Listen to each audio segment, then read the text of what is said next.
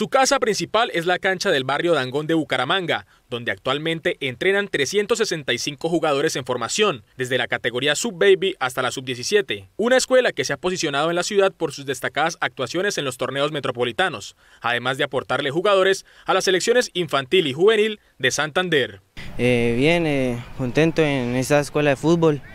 eh, cada vez mejorando para poder llegar a ser un gran jugador, como muchos lo han sido. Fue el equipo que,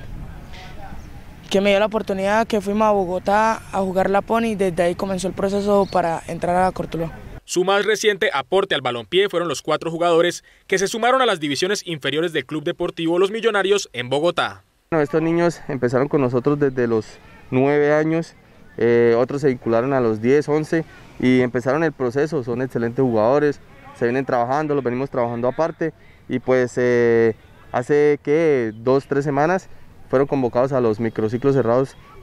de millonarios por el profe Edgar Moreno y pues eh, la noticia eh, fue la semana pasada que ya quedaron en el, en el conjunto de millonarios. Esta es solo una pequeña muestra de la gestión formativa del balompié que avanza en la región y que busca volver a posicionar a Santander como una potencia del fútbol nacional.